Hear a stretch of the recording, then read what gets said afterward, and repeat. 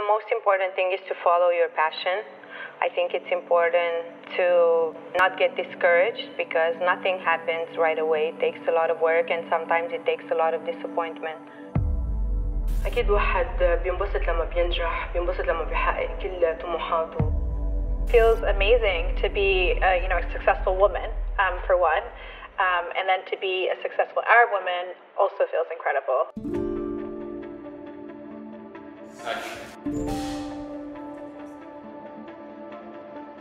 Love the fashion industry very much, but I work in the beauty industry and I faced a lot of difficulties being a woman starting a business. A lot of people, when I first started out, um, kind of treated me like it was a hobby and it wasn't really a serious career. أكيد واحد بينبسط لما بينجح بينبسط لما بيحقق كل طموحاته بس لما بنفس الوقت تعرفي انه انت كامرأة عربية عم تقدر تكوني رول موديل او تكوني انسبيريشن لكتار من النساء بالوطن العربي هيدا بحد ذاته لحظة فخر لإلك وبنفس الوقت لحظة مسؤولية I faced uh, many difficulties uh, in the fashion world not just being an Arab just being a woman being Romanian I felt like I had to struggle a little bit more in order to prove myself.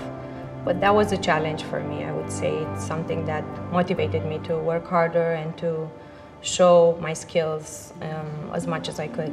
When you're starting your career, a lot of times you're a very insecure person. Sometimes doubt yourself, and that can be really challenging. I think the thing that I love about my leadership journey is it's given me so much confidence. I feel very secure with who I am now. I feel like oftentimes, like it doesn't matter what situation I go into now, I'm unrattled. It's not really necessarily about the journey and, and me as a leader, it's about the confidence that it's given me. نجاح حلو بس طريقه كتير صعب بدها تكون مستعدة إنها تخوض هالطريق بكل ثقة وبكل قوة وكل عقبة رح تمرق فيها هي درس لإلها ما بدها تكون محطة تتحطم من وراها بالعكس لازم تكون محطة انها ترجع تقوى وتكفي لتوصل لهي اياها.